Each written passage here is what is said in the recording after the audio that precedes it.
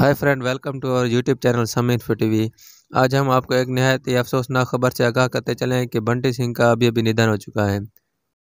Bunty Singh India की एक बहुत बड़ी पर्सनैलिटी थी, जिनका सुनने में आ रहा है कि उनका अभी अभी निधन हो चुका है।